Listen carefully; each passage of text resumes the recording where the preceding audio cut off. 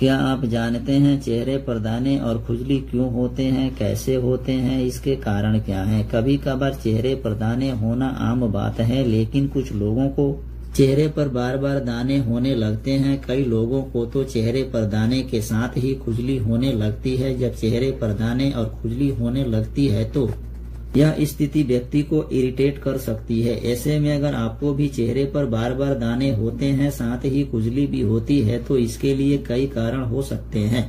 जैसे एलर्जी होना, सीबम का अधिक उत्पादन होना, पसीना और धूप के कारण, स्किन ड्राई होना, तनाव होना इत्यादि शामिल है। अगर आपको भी ऐसा प्रॉब्लम है तो आप तुरंत स्किन के डॉक्टर से संपर्क करें और इसका इलाज कराएँ। दोस्तों, मेरे चैनल को सब्सक्राइब करें, इस वीडियो को लाइक करें, अपने दोस्तों तक शेयर करें। Thank you.